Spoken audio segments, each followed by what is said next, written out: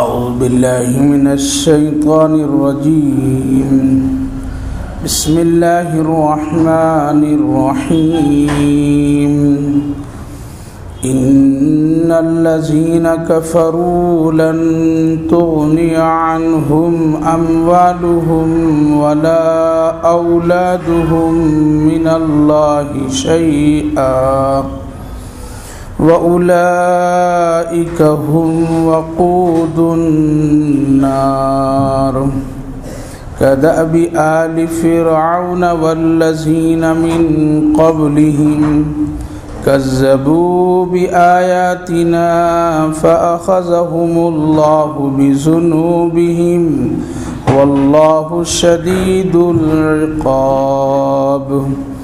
قل للذين كفروا ستغلبون وتحشرون إلى جهنم وبئس المهاد. قد كان لكم آية في فئتين التقتا. فئة تقاتل في سبيل الله وأخرى. وأخرى كافرة يرونهم مثليهم رأي العين. والله يعيد بنصره من يشاء. إن في ذلك لعبرة لأولي الأبصار.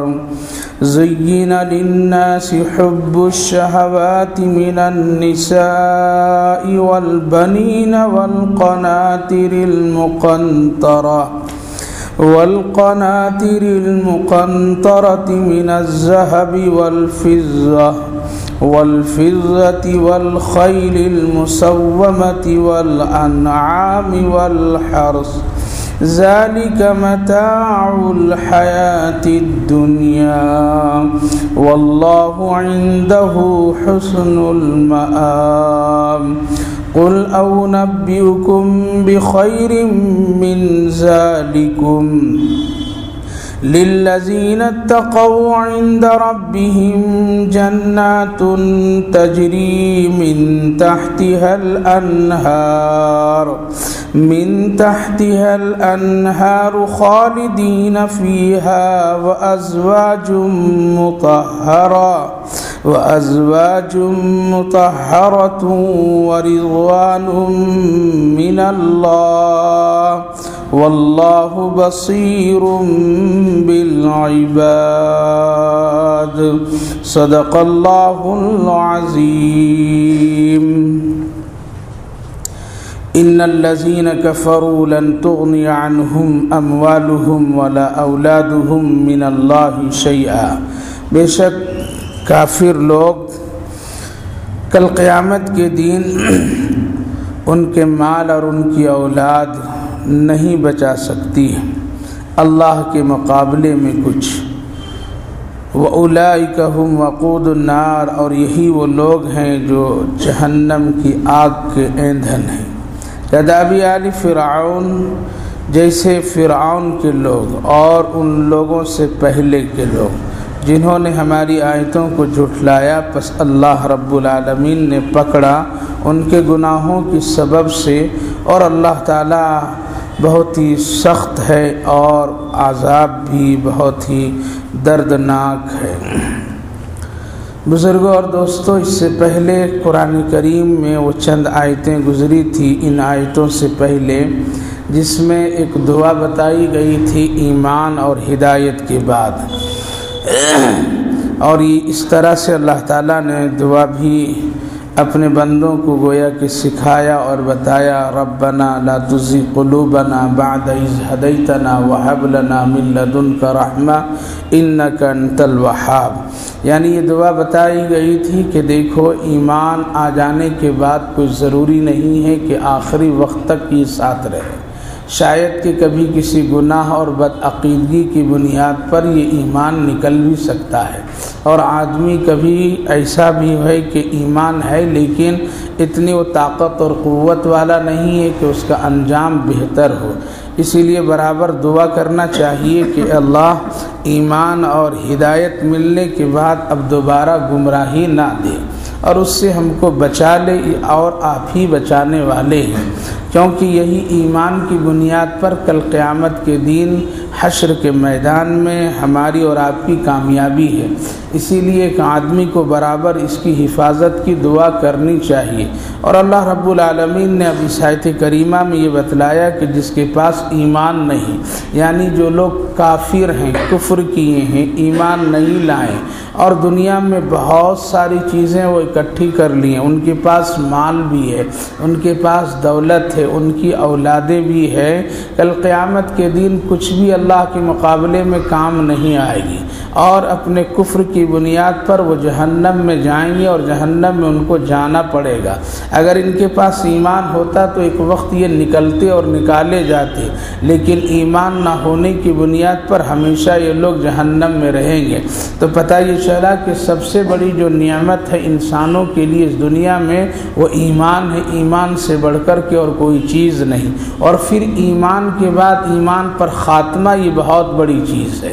ایک آدمی کا اگر خاتمہ ایمان پر نہیں ہوا، اس کے لیے بھی مشکلات کی گھڑیاں ہیں۔ اس کے لیے بھی بہت سارے مسائل ہیں۔ اسی لیے دعا پہلے اللہ تعالیٰ نے یہ سکھا دیا کہ تم برابر یہ دعا کیا کرو۔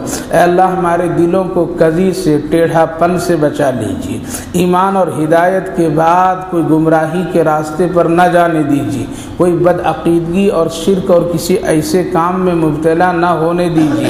بلکہ ہم کو مکمل طور پر ہدایت ہدایت کے راستے پر رکھیے کیونکہ انجام اسی میں ہے۔ اسی لیے اللہ رب العالمین نے صاف ایک مثال دے کر کے بتا دیا کہ کل قیامت کے دن جن کے پاس ایمان نہیں ہوگا، وہ بہت بڑے نقصان والے ہوں گے۔ اگرچہ ان کی اولاد دنیا میں خوب، ان کے پاس مال خوب، لیکن وہاں کوئی چیز کام نہیں آئے گی۔ ہر ایک آدمی اپنے اپنے حال پر ہوگا اور کفر کی بنیاد پر جہنم کی آگ کے وہ شکار بن جائیں گے۔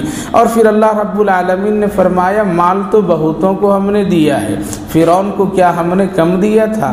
پھر نمرود کو ہم نے کیا کم دیا تھا؟ حامان اور شداد کے پاس دولت کم تھی۔ کیا تمہارے سامنے ان لوگوں کی مثالیں نہیں ہیں؟ کیا ان لوگوں کے واقعات کبھی سنے نہیں ہیں؟ اور ان لوگوں کی زندگی اور ان کے حالات پر کبھی ایک گہری نظر نہیں ڈالا؟ میرے بھائی بزرگوں اللہ رب العالمین نے یہاں فرمایا کہ دیکھو، فرعون کا کیا حال ہوا؟ مال بھی اس کے پاس ہے۔ حکومت اور سلطنتیں بھی اس کے پاس ہے۔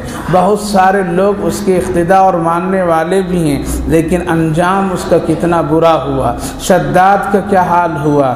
نمرود کا کیا حال ہوا؟ کذبو بھی آیاتینا یہ وہ لوگ تھے جو ہماری آیتوں کو یعنی ہمارے کلمے کو، ہمارے نبیوں اور رسولوں کو جھٹلائیں، خوب جی بھر کر کے ان کی گستاخی کیے۔ اللہ تعالیٰ نے ان کے گناہوں کی وجہ سے پکڑا اور سخت عذاب میں مبتلا کر دیا تو پتہ یہ چلا کہ اگر مال اور عزت اور اولاد اگر اللہ کی مرضی کے مطابق ہے تو یہ نجات کا ذریعہ ہے اور اگر یہ اللہ کی مرضی سے ہٹ کر ہے تو یہی وبال جان ہے اور یہی مشکلات کے لیے کل آخرت کے لیے گھڑی اور ایک چیز بن سکتی ہے۔ اسی لیے ہمیشہ آدمی کو ہر ایک چیز مال ہو یا اولاد ہو، اللہ کی مرضی کے مطابق اس کو استعمال کرنا چاہیے۔ آگے فرمایا اللہ تعالیٰ کل الدین کفر ستغلبون و تحشرون الى جہنم اے نبی صلی اللہ علیہ وسلم، آپ کہہ دیجیے ان کافروں سے ان لوگوں سے جو اس وقت مکہ میں تھے، جو لوگ نبی اکرم صلی اللہ علیہ وسلم کے روبرو تھے اور جو لوگ مختلف سوالات ایمان کے سلسلے میں کیا کرتے تھے اور نبی اکرم صلی اللہ علیہ وسلم بیزار ہوتے تھے، آپ کے دل میں صدمہ ہوتا تھا، تو اس وقت میں نبی اکرم صلی اللہ علیہ وسلم کے چہرے مبارک میں تغیر بھی کبھی کبھی آتا تھا۔ اللہ نے فرمایا، کہیے، ستغلبون و تحشرون، دو کام، دنیا میں تم مغلوب ہو جاؤ گے یعنی تم پر مسلمان غالب ہوں گے اور تم مغلوب ہوگے وہ تحشرون الا جہنم اور جہنم میں تم جمع کر دیے جاؤ گے دنیا کے اعتبار سے بھی کفار و مشرقین کو نبی اکرم صلی اللہ علیہ وسلم کی حیات میں شکست ہوئی۔ وہ لوگ مغلوب ہوئے، وہ لوگ مارے گئے، مکہ سے وہ لوگ نکالے گئے اور یہود و نصارہ کو جزیرت العرب سے باہر کیا گیا۔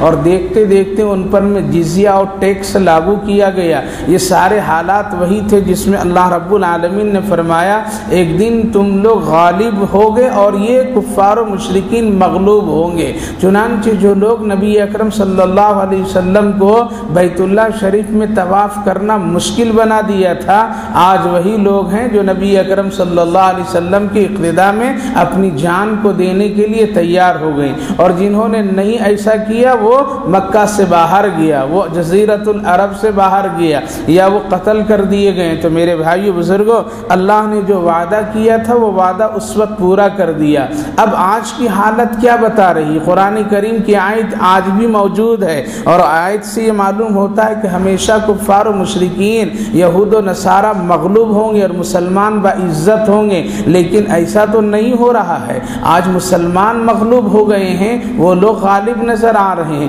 وہ جس طرح سے چاہتے ہیں ہمارے خلاف تدبیریں کر لیتے ہیں۔ جس طرح سے وہ چاہتے ہیں ایک ساتھ مل کر کے مسلمان اور مسلمانوں کے مسائل کو دبانے کی پوری طاقت لگا دیتے ہیں اور دیکھتے دیکھتے ایک مسلمان کا ملک تتر بتر ہو جاتا ہے اور اس کے ساری نزاکتیں ختم ہو جاتی ہیں اور پھر وہ ایک ایران کی شکل اختیار کر جاتا ہے۔ تو گویا کہ قرآن کریم کی شاہدی کریمہ سے تو پتہ چلتا ہے کہ مسلمانوں کو غالب ہونا چاہیے اور کفار و مشرقین یہود و نصارہ کو مغلوب ہونا چاہیے، لیکن آیت کے بالکل برعکس اور خلاف ہے۔ دوسری جگہ اللہ رب العالمین نے فرمایا، تم غالب کیسے ہوگے؟ مال سے نہیں، دولت سے نہیں، جاہو اور حکومت اور سلطنت سے نہیں، تیل کے خزانے سے نہیں، سونا اور چاندی سے نہیں، بلکہ تم غالب اگر ہونا چاہتے ہو، تو ایک چیز ہے وہ ان تم العلون ان کن تم مؤمنین تم ہی غالب ہوگے سر بلندی تمہاری ہوگی۔ شرط یہ ہے کہ تم پکے، سچے ایمان والے ہو جاؤ۔ جاؤ۔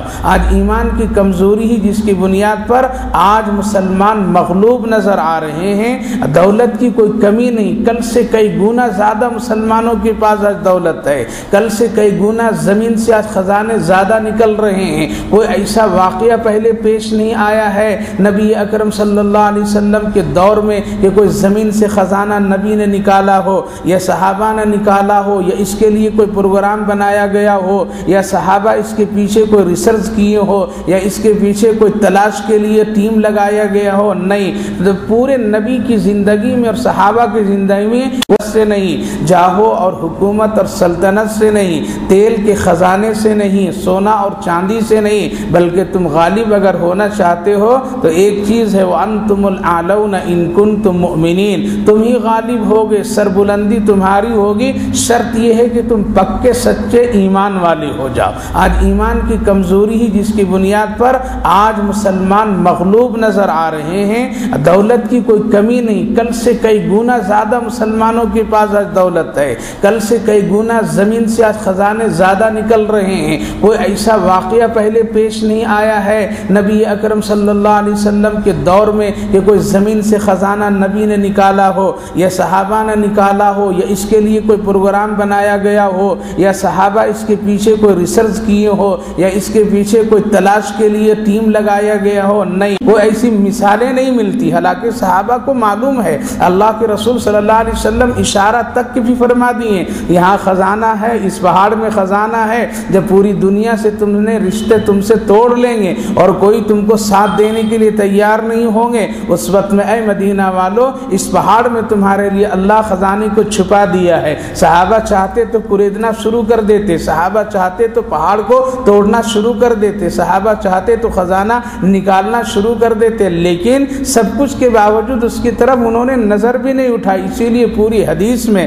اور نبی اکرم صلی اللہ علیہ وسلم کی حیات میں، صحابہ کے دور میں کوئی ایسی مثال نہیں ملتی ہے کہ آپ نے زمین کی کھدائی خزانے کے تلاش کرنے میں لگایا ہو، بلکہ اگر مل بھی جاتی تھی تب بھی نہیں لیتے تھے وہ لوگ۔ ملتے تھے، اگر کوئی خزانہ تب بھی انکار کر دیتے تھے۔ ایک واقعہ تو ہے کہ نبی اکرم صلی اللہ علیہ وسلم وسلم کے دور میں نہیں، بلکہ حضرت عمر رضی اللہ عنہ کے دور میں ایک واقعہ ایسا آیا کہ زمین بیچنے والے نے زمین بیچا تھا اور خریدنے والا نے خرید لیا۔ جب زمین پہ مکان بنانے کی خدائی شروع کی اور بنیاد بنانے کے لیے مٹی نکالنے لگے تو ایک صندوق بھرا ہوا اشرفیوں سے بالکل ملا ہے اور دیکھ کر کے کام کو روک دیا اور زمین والے کو بلایا۔ آؤ بھائی، تمہارا خزانہ یہاں پڑا ہوا ہے، اس کو اٹھا کر کے لے جاؤ۔ زمین بیچنے والا کہتا ہے کہ نہیں، میں نے زمین بھی بیچی، خزانہ بھی بیچا، یہ خزانہ بھی تیرا ہے، تم لے جاؤ۔ لیکن خریدنے والا کہتا ہے کہ میں نے صرف زمین خریدی خزانہ نہیں خریدا ہے۔ اس لیے میں خزانہ نہیں لوں گا، تم لے جاؤ۔ اللہ اکبر۔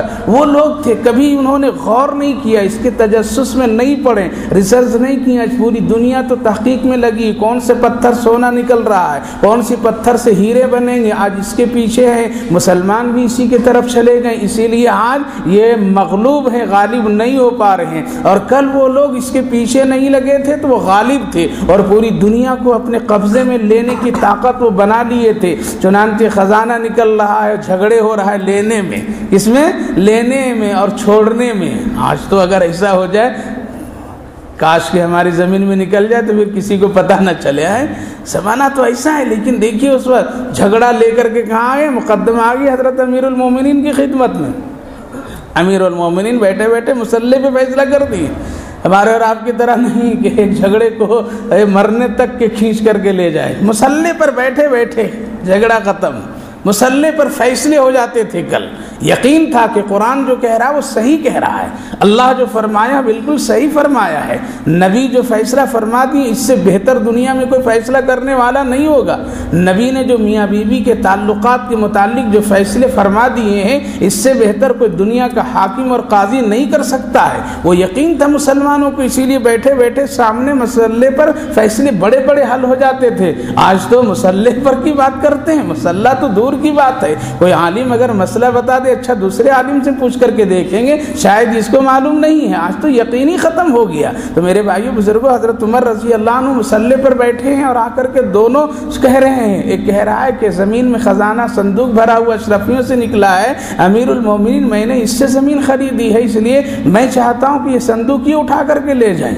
اور بیچنے والا کہتا ہے، امیر المومن مجھ کو تو پتہ بھی نہیں تھا۔ وہ ہے بھی میرا یا نہیں ہے؟ میں تو زمین صرف بیچ دی تھی، اس کو کوئی عطا پتہ نہیں نہیں میرے والدین یا میرے کوئی رشتہ دار نے کوئی وصیت میں لکھ کر کے بھی نہیں گئے تھے اسی لیے مجھ کو معلوم نہیں۔ اس لیے زمین کا سارا خزانہ اس کا ہے، ہمارا نہیں ہے، ہم تو نہیں لیں گے۔ اللہ اکبر۔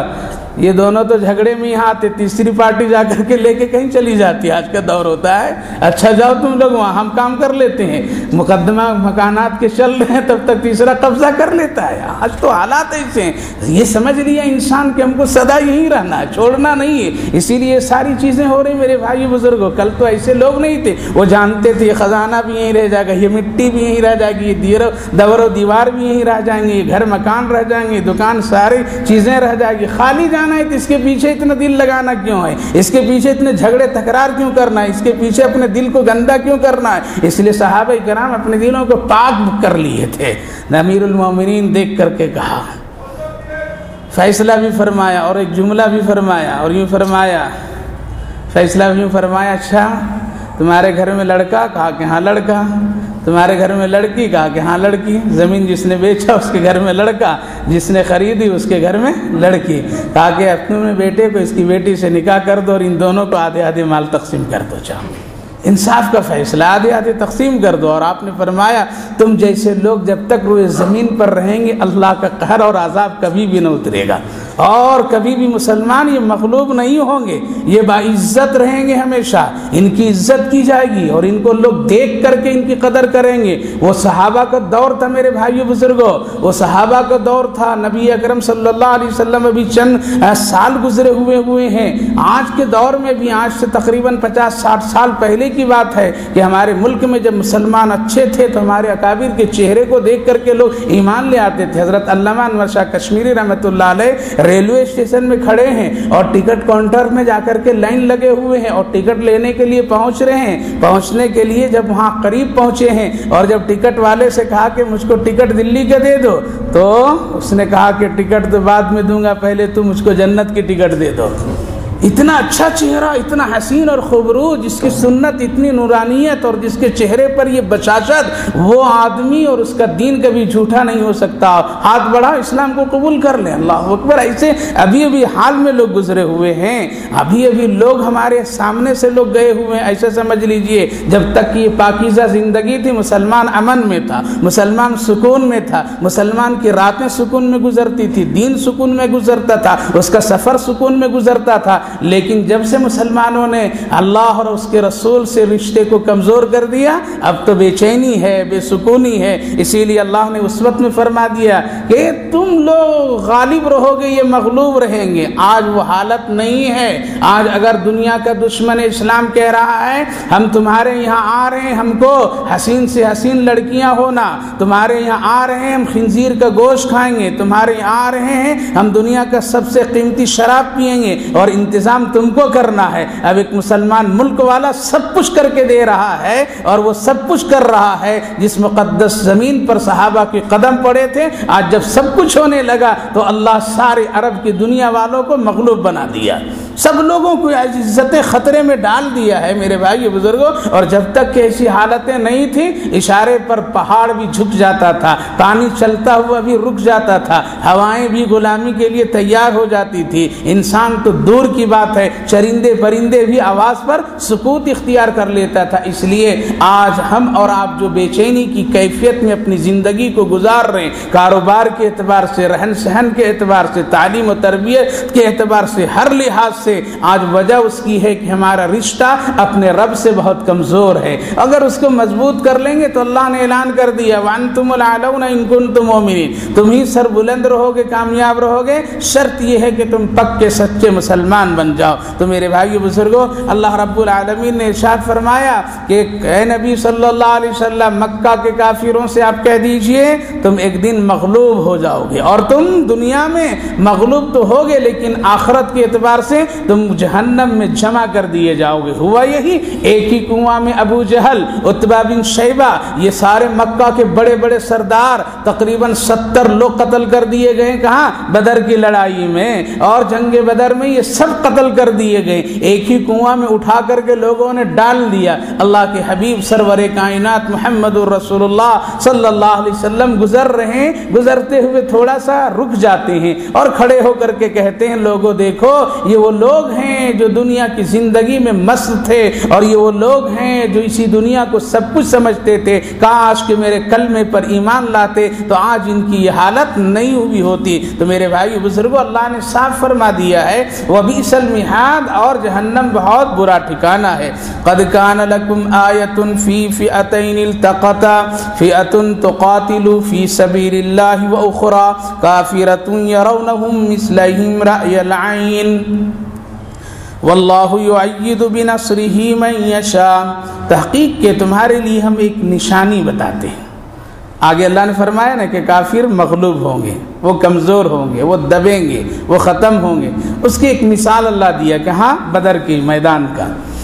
تمہارے لیے ایک نشانی ہے کہ دو جماعتیں آپس میں بھیڑی دو جماعتیں، ایک کافروں کی اور ایک مسلمانوں کی۔ کافروں کی تعداد تین سو، ایک ہزار تین سو یعنی تیرہ سو کی تعداد۔ اور ادھر صحابہ کی تعداد تین سو تیرہ۔ دونوں ایک جماعت ہے۔ کم کدھر ہے؟ صحابہ کی مسلمانوں کی جماعت کم میں بات فرماتے ہیں ایک ہزار ادھر اور تین سو ادھر۔ تب بھی کم، تب بھی ادھر دگنا اور ادھر ایک حصہ ہے۔ دو جماعتیں بھیڑی، فی تو قاتل فی سبیل اللہ۔ اللہ کے راستے میں وہ اخرا کافرت مسلم رائن اور ایک کافروں کی جماعت یرون مسلم رائن ایک دوسرے کو دیکھتی تھی، وہ جماعت تو دگنا نظر آتی۔ واللہ یعید بنصری من یشاء اللہ تائید کیا اپنی مدد اور نصرت سے، جس سے چاہتا ہے۔ ان نفیزہ عبرت الابصار اور بے شک یہ عبرت اور نصیحت ہے دیکھنے والوں کے لیے۔ واقعہ ایسا ہوا، صحابہ کرام رضوان اللہ عنہ مجمعین بے سر و سامانی کے ساتھ۔ نہ اونٹ سب کے پاس، نہ گھوڑے سب کے پاس، نہ تلواریں سب کے پاس، کل آٹھ تلواریں۔ اور لڑنے والے کتنے؟ تین سو تیرہ ہیں۔ کیا ہوگا؟ باقی کو سب کو صحابہ نے ایک دوسرے کو حضور کی شاخیں توڑ کر کے، کپڑے لپیٹ کر کے تلوار کی شکل بنا کر کے دے دیے۔ حضرت ابو سفیان کہتے ہیں، ایمان لانے کے بعد آٹھ تلواریں تم لوگوں کے پاس تھی لیکن ہر ایک کے ہاتھ میں تلواریں ہم کو نظر آ رہی تھی اللہ فرما رہا ہے، ہم دکھائیں۔ ادھر تین سو تیرہ، ادھر دیکھتے ہیں تو ڈبل نظر آتے ہیں۔ اور وہ لوگ کافر لوگ، مسلمانوں کو دیکھتے ہیں تو یہ ڈبل نظر آتے ہیں۔ اللہ ڈبل نظر آتے ہیں۔ ان لوگوں کو دیکھتے ہیں، دور سے تو سمجھتے ہیں کہ یہ تو کئی گنا لوگ ہیں۔ ہر ایک صحابی کے پیچھے دس فرشتے، کتنے؟ دس فرشتے۔ تو کیا ہو گئے؟ ڈبل نظر آ گئے نہیں آئے؟ جب ادھر کے لوگ دیکھیں، کافر لوگ ارے یہ لوگ تو ڈبل ہیں، تو دلوں میں کیا ہو گیا؟ روب دب دبا اس کی طبیعت اور اس کی ہمتیں کمزور ہونے لگی۔ ادھر کے لوگ تین سو تیرہ، یہ جب ادھر دیکھ رہے ہیں تو ایک ہزار تین سو نظر آ رہے ہیں۔ کیا فائدہ؟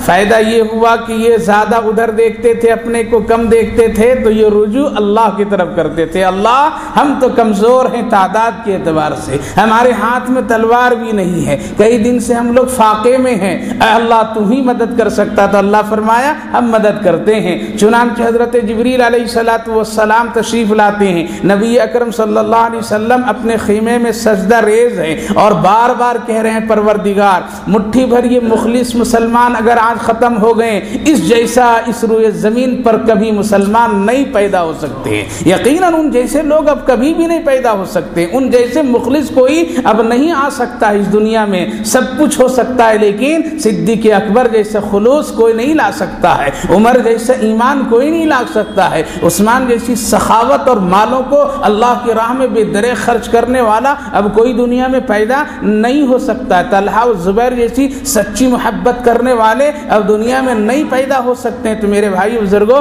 نبی یہی کہہ رہے تھے، یہ مٹھی بھر مسلمان، اگر اے میرے رب ختم ہو گئے تو اس روئے زمین پر آپ کا نام اس جیسے مخلص کو لینے والا نہیں ہوگا۔ حضرت سیدنا صدیق اکبر سر مبارک کے سامنے کھڑے ہو گئے اور خود کہہ رہے ہیں، یا رسول اللہ میں تو فرشتوں کو آسمان سے اترتے ہوئے دیکھ رہا ہوں آپ سر کو اٹھا دیجیے۔ اٹھاتے ہیں تو حضرت جبریل کہتے ہیں، تین ہزار فرشتے اتر چکے ہیں، آپ صحابہ کی مدد کے لیے لیے اگر اتنے میں بھی مطمئن نہیں ہوتے ہیں، اور دو ہزار بلا لیتا ہوں، اور پانچ ہزار کر دیتا ہوں، اور بھی نہیں تو اور اللہ کی مدد ہوگی۔ نبی نے فرمایا، بس، اب پھر کیا ہوتا ہے؟ دوڑنے سے پہلے کوئی اور دوڑ کر کے بجھل کو قتل کر دیتا ہے، دشمن ڈھیر ہو جاتے ہیں۔ اللہ اسی کی طرف اشارہ کیے، دیکھو، مغلوب ہوئے یا نہیں ہوئے؟ ہونا تو یہ چاہیے تھا کہ یہ تین سو تیرہ مٹ جاتے، ختم ہو جاتے۔ ان کے پاس کچھ بھی نہیں تھا، لیکن یہ بھروسہ اللہ پر کیے۔ آج دنیا کی نظر میزائل پر ہے، بم پر ہے، ٹم بم پر ہے اور تمام دنیا کی ہتھیار پر ہے۔ ایمان اتنا کمزور ہے، نہ ان کو رونا آتا ہے، نہ ان کو اللہ کے سامنے گڑ گڑانا آتا ہے۔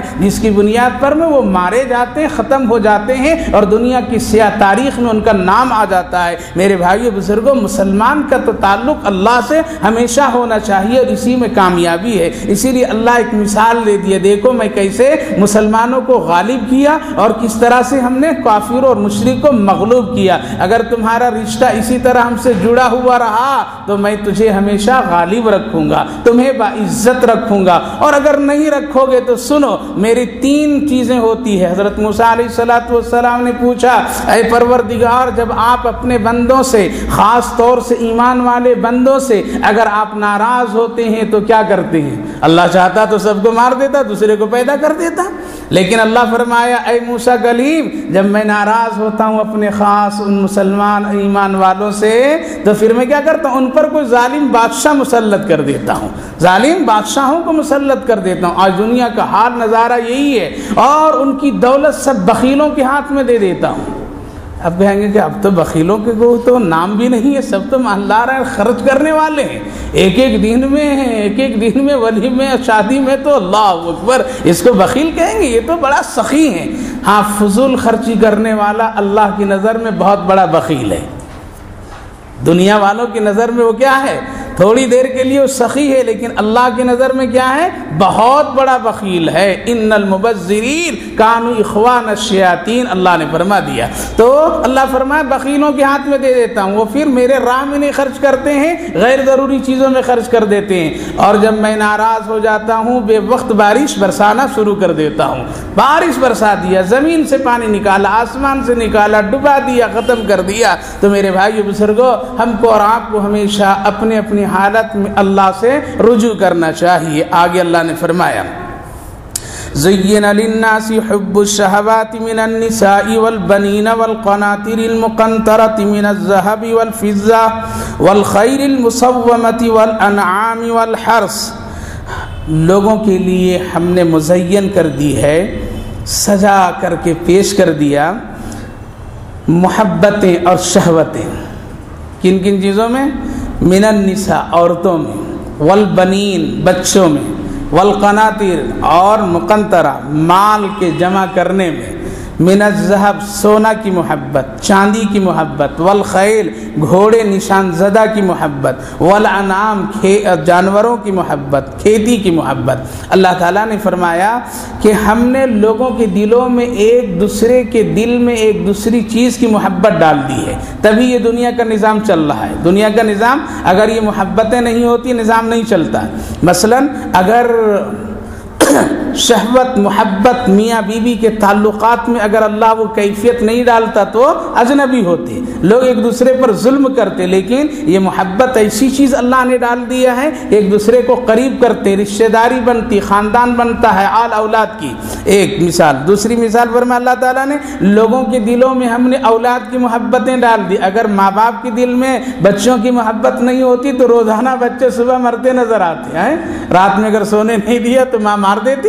باپ مار دیتا، قتل کر دیتا، مار دیتا، ٹکر اور ختم کر دیتا، گھر سے باہر کر دیتا۔ لیکن رات بھر بچہ ستاتا ہے، ماں اس سے سینے سے لگاتی ہے، رات بھر بچہ ستاتا ہے، پھر بھی باپ اس سے پیار کرتا ہے۔ کیا ہے یہ چیز؟ کس نے یہ سکھائی؟ اللہ نے قدرتی طور پر میں باپ کے دل میں بچے کی محبت کو ڈال دیا اور ماں کے دل میں محبتیں ڈال دیا ہے۔ تبھی یہ بچے پل رہے ہیں، یہ بڑے ہو رہے ہیں۔ تو اللہ نے فرمایا، لوگوں کے دلوں میں ہم نے عورتوں کی محبت ڈال دی۔ اب یہ محبت اگر جائز طریقے سے ہے، یہ محبت کا ایک درجہ ہے، اس حد تک کہ اگر ہے، تب تو زندگی خوشگوار گزرتی ہے، عزت والی گزرتی ہے۔ یہ محبت اگر چھلانگ لگا دیے دیوار کو توڑ دیا پھر آدمی رسوا بھی ہوتا ہے، ذلیل بھی ہوتا ہے، داغدار بھی ہوتا ہے۔ اس لیے محبت کی ایک لمٹ ہے، اس تک کہ اس سے عمل کرنا چاہیے۔ کب کتنے بیوی سے محبت کرنی چاہیے، اتنا ہی کرنا چاہیے۔ اس کو بھی زیادہ نہیں بڑھا دینا چاہیے کہ ماں باپ کی ناقدری ہو جائے۔ گھر کو رشتہ داروں کی ناقدری ہو جائے، بلکہ اس کی بھی ایک ہے حد وہاں تک کے رکھنا چاہیے۔ اسی طرح عورتوں کے دلوں میں شوہر کی محبت کہاں تک ہے، اتنا ہی کرنا چاہیے۔ اتنا نے اس کو بڑھا دو کہ تم سجدہ کرنے لگو، اتنا نہ بڑھا دو، اس کے نماز روزے سب کچھ چھوڑ کر کے اسی کے پیچھے لگ جاؤ۔ نہیں، بلکہ ایک درجہ ہے، ایک لمٹ ہے، ایک دیوار ہے، وہاں تک رہنا چاہیے۔ اتنا نہ بڑھا دو کہ بالکل ماں باپ کی ناقدری ہو جائے، رشتہ داروں کی ناقدری ہو جائے۔ آج تو یہی وجہ ہے کہ کبھی کبھی اس محبت میں اتنے نوجوان تجاوز کر جاتا ہے کہ کبھی ماں باپ خیال تک کے نہیں آتے ہیں، کبھی بھی نہیں۔ اسی لیے حدیث پاک میں اللہ کے رسول صلی اللہ علیہ وسلم نے ارشاد فرمایا، کبھی کبھی تم اپنے ماں باپ کی خواہشات پوچھا کرو۔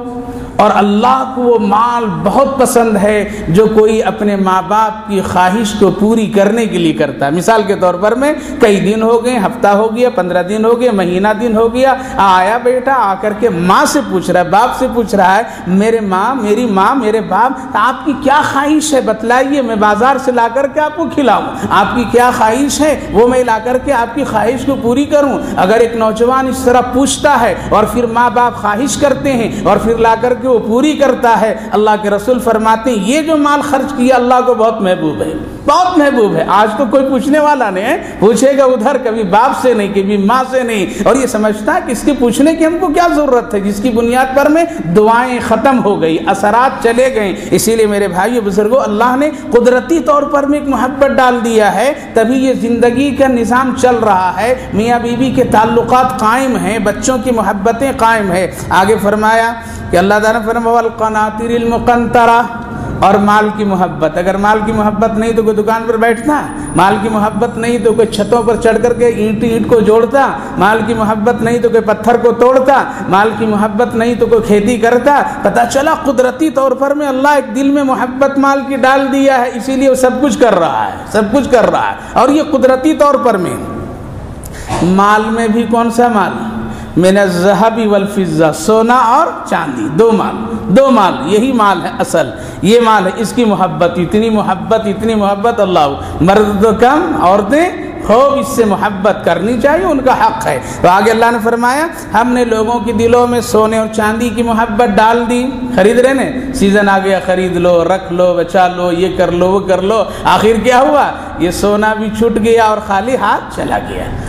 چلا گیا، کوئی لے کر کے نہیں گیا۔ ہے کوئی گھر والا کہ جا کر کے عورت کے زیورات کو اس کے قبر میں ڈال دیا ہو۔ نہ، کوئی بھی نہیں ہے۔ جو کچھ پہن رکھی بیچاری، وہ بھی نکال کر کے لوگ رکھ لیتے ہیں، جانے نہیں دیتے ہیں۔ اور مسئلہ بھی ہے، جانے نہیں دینا، سب نکال کر کے رکھ لو۔ اللہ اکبر۔ جس چیز سے محبت کی، وہ چیز کی حالت ایسی ہے۔ آگے اللہ فرمایا، بہت سے لوگوں کے دلوں میں ہم نے گھوڑے کی محبت ڈال دی ولانعام اور جانوروں کی محبت ڈال دی۔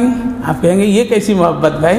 ہاں محبت نہیں ہے گائے کی خدمت اگر نہیں کیا جائے بھینس کی خدمت اگر نہیں کیا جائے تو دودھ ملے گا ہاں تو ایک آدمی کے دل میں ان کی محبت ڈال دی اللہ تعالیٰ لگا ہوا ہے بیچارہ گائے کی خدمت کر رہا ہے چارہ ڈال رہا ہے نہلا رہا ہے دھلا رہا ہے بھینس کو کھلا رہا ہے پلا رہا ہے جانور کی خدمت کر رہا ہے گھوڑے کی خدمت کر رہا ہے گدھے کی خدمت کر رہا ہے اور اس کے پیچھے لگا ہوا ہے بکرے بکریوں کی خدمت کر رہا ہے خرید و فروخت کر رہا ہے اس کی نگرانی کر رہا ہے کیوں یہ اس کے دل میں محبت ہے تبھی تو ایسا کر رہا ہے۔ اور اگر محبت نہیں ہوتا تو پھر یہ دنیا کا نظام نہیں چلتا۔ دودھ کہاں سے آتے؟ یہ بکرے بکریوں کو گوشت کہاں سے کھاتے؟ اگر یہ محبتیں نہیں ہوتی تو میرے بھائی بزرگوں قدرتی طور پر میں اللہ تعالیٰ نے ایک دوسرے کے دل میں اس کی محبت کو ڈال دیا۔ آگے فرمایا والحرس اور کھیتی کی محبت بھی لوگوں کے دلوں میں ہم نے ڈال دیا۔ اب کہیں گے، کھیتی کی محبت کیسے؟ دیکھیے کہ انسان کھیت میں لگا ہوا ہے، دھوپ میں ہے، پانی میں ہے، بارش میں ہے، جس حال میں بھی ہے، کھیتی کر رہا ہے، مقصد اس کا یہ ہے،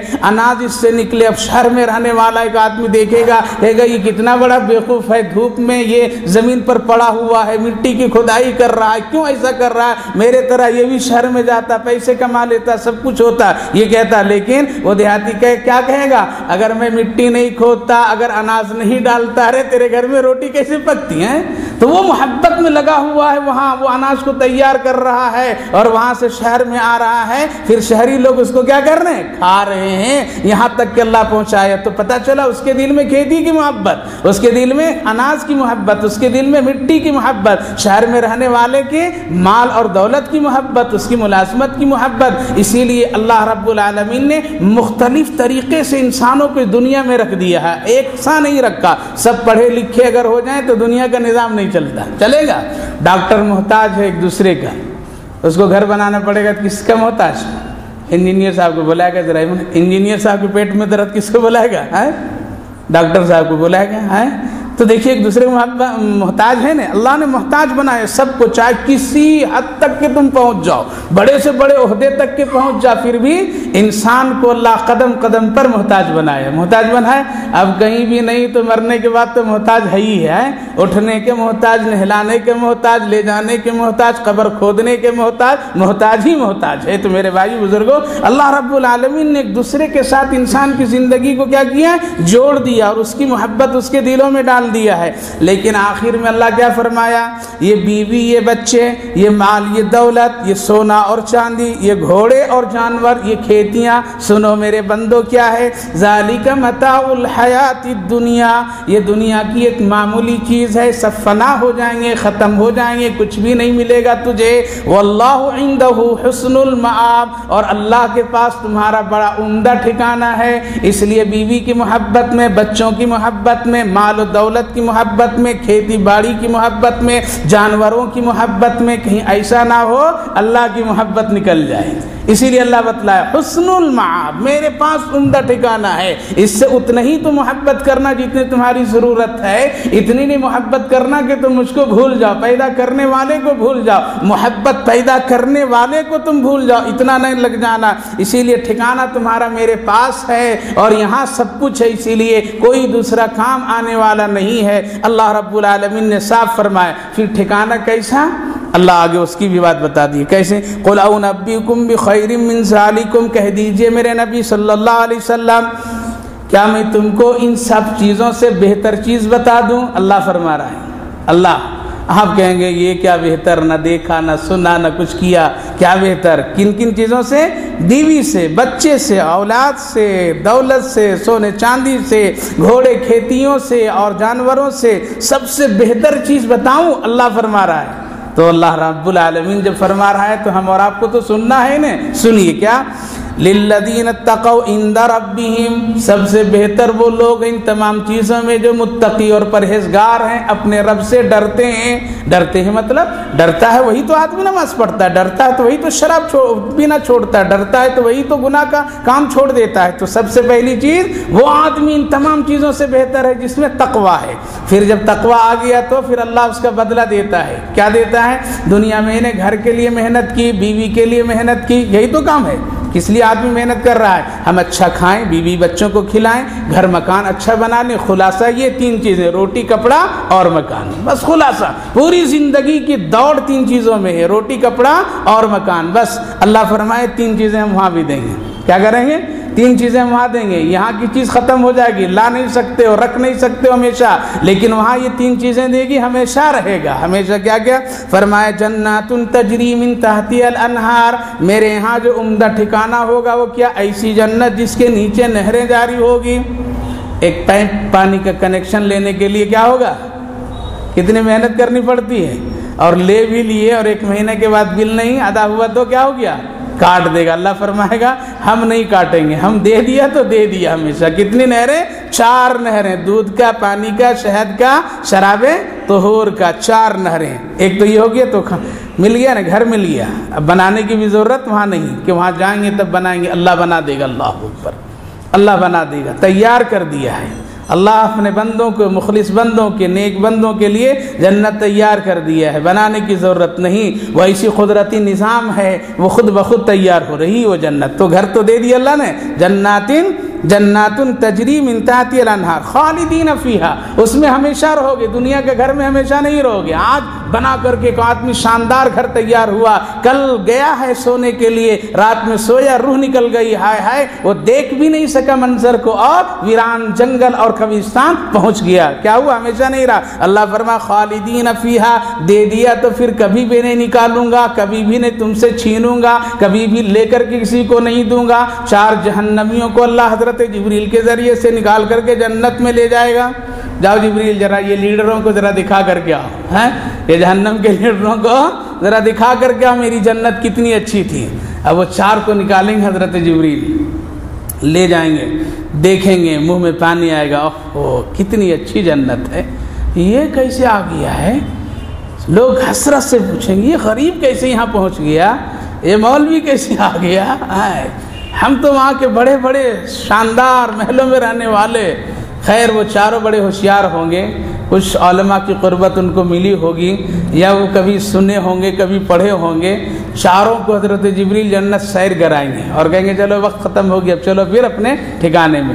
اب اے سی میں آ جانے کے بعد میں پھر گرمی میں جانا میں کیسا ہوتا ہے؟ بڑی پریشانی۔ بیٹھ جائیں گے چاروں کے چاروں۔ نہیں جاؤں گا جبریل۔ تب جبریل کو بھی اختیار نہیں ہے کہ وہ نکال دیں۔ نہیں جاؤں گا میں، یہیں رہوں گا۔ جاؤ میرے رب سے کہہ دو۔ تو یہ جائیں گے حضرت جبریل۔ پروردگار چاروں کو تو دکھا دیا، لیکن یہ تو بڑے سخت ہیں، جانے کے لیے تیار نہیں ہیں۔ جا پوچھو کیا کہتے ہیں؟ تو یہ ذرا کبھی مولوی علو سے ذرا قریب ہوئے ہوں گے، سنے ہوں گے۔ یہ تفسیر میں بیٹھیں گے، اتنی ساری باتیں سنیں گے تو جواب کام آئے گا ہاں؟ کیا کہا؟ خالدین فیہا۔ اللہ نے کہا کہ ہمیشہ کے لیے جنت دیتا ہوں، جس کو ایک مرتبہ داخل کر دیتا ہوں، نکالتا نہیں ہوں۔ یہ اللہ نے مجھ کو داخل کر دیا، اللہ کی شان ہے نہیں نکالے گا۔ جہاں میرے رب سے کہو کہ قرآن میں سن کر کے آیا ہوں، پڑھ کر کے آیا ہوں، جس کو میں ایک مرتبہ جنت دے دیتا ہوں، دکھا دیتا ہوں، ڈال دیتا ہوں، پھر باہر نہیں کرتا ہوں۔ اس کا مطلب یہ ہے، اسی لیے اگر اللہ اپنے وعدے میں سچا تو ہم کو باہر نہ کرے بس۔ حضرت جبریل آئیں گے، پروردگار یہ کہدار ہوگی اللہ۔ لیکن دونوں ساتھ میں جائیں گے تب نہیں اور اگر آگے پیچھے ہو گئے تو ایک کہیں گے، جائیے، میں آ رہا ہوں شوہر کہے گا اچھا ٹھیک ہے، تم آؤ۔ لیکن کبھی ایسا ہوا بیوی چلی گئی اور شوہر پیچھے ہو گیا۔ اگر ساتھ میں جانا چاہتے ہیں تو دونوں فجر کی نماز پڑھیے۔ دونوں جنت کی ہوا اگر لینا چاہتے ہیں، حرام اور پاکیزہ بیویاں، کتنی بیوی؟ ایک نہیں، دو نہیں، تین نہیں، چار نہیں، ستر بیویاں۔ اللہ اکبر۔ صحابہ نے پوچھا، یا رسول اللہ، کیا حال ہوگا؟ ایک میں تو کام یہاں جھگڑے، تکرار، ہیں؟ ایک میں جھگڑے تک رات سنبھالنا مشکل ہے۔ وہاں ستر اللہ کے رسول نے ارشاد فرمایا، دلوں سے بغض، کینے، عداوت سب اللہ نکال کر کے باہر کر دے گا۔ اسی لیے نہ وہاں جھگڑا ہوگا، نہ کسی طرح کوئی ایک دوسرے کے انتقام ہوں گے، بلکہ سب حساس و بساس، خوشی خوشی کے ساتھ ہوں گے۔ اور پھر کیا ہوں گے؟ دنیا کی بیوی ان تمام ستر حوروں کی سردار ہوگی اللہ۔ لیکن دونوں ساتھ میں جائیں گے تب نہیں اور اگر آگے پیچھے ہو گئے تو ایک کہیں گے، جائیے، میں آ رہا ہوں شوہر کہے گا اچھا ٹھیک ہے، تم آؤ۔ لیکن کبھی ایسا ہو بیوی چلی گئی اور شوہر پیچھے ہو گیا۔ اگر ساتھ میں جانا چاہتے ہیں تو دونوں فجر کی نماز پڑھیے دونوں جنت کی ہوا اگر لینا چاہتے ہیں، دونوں اٹھیے اور پڑھیے، دونوں نیکی کا عمل کیجیے۔ انشاءاللہ اللہ کی رحمت بڑی وسیع ہے، ساتھ ساتھ جنت ملے گی۔ تو ازواج متحرہ پاکیزہ بیویاں، کیوں فرمایا اللہ تعالیٰ؟ پاکیزہ، دنیا کی بیویاں ناپاک ہو جاتی ہیں کبھی کبھی۔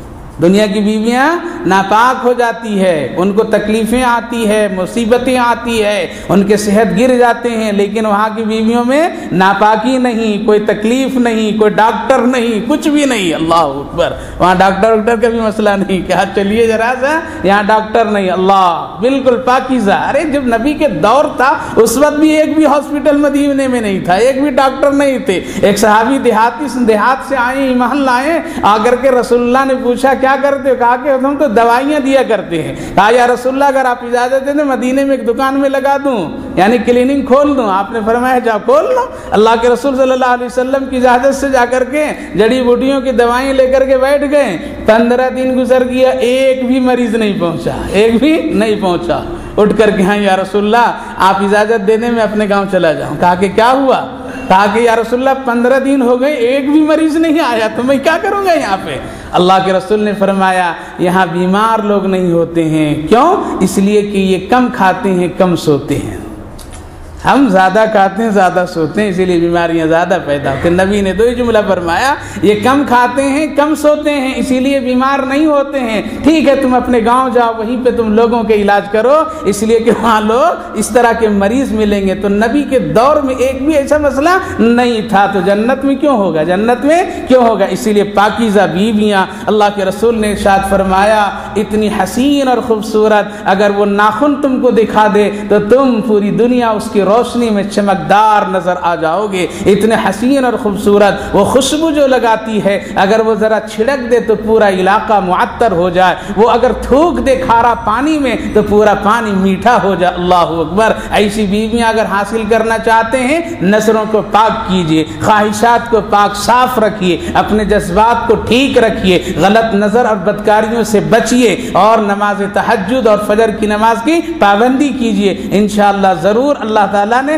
بنایا ہے تو اپنے بندوں کو ضرور دے گا۔ آگے فرمایا، اس سے بڑھ کر کے اور کیا چیز؟ ورضوان من اللہ اور میری رضا اور خوشنودی میں تجھ کو جنت میں دیتی واللہ بصیر بالعباد، اللہ اپنے بندوں کو خوب اچھی طرح دیکھتا ہے، اپنے بندوں کو خوب اچھی طرح دیکھتا ہے۔ تو میرے بھائی بزرگوں جن چیزوں کی محبت میں آج ہم اور آپ لگے ہوئے ہیں، یہ ساری چیزیں یہاں ختم ہو جائے گی۔ ہمیشہ کی جو جگہ ہے، وہ جنت ہے۔ ہمیشہ کی جو بیوی ساتھ میں رہنے والی ہے، وہ جنت کی حوریں ہیں۔ ہمیشہ کی جو دولت ہے، وہ اللہ کی رضا ہے۔ اسی لیے اللہ کی طرف اپنے رشتے کو مضبوط کر لیجیے۔ انشاءاللہ جنت بھی ملے گی، دنیا کی خیر و برکت بھی ملیں گے۔ اللہ ہم سبوں کو اس کی توفیق عطا فرمائے۔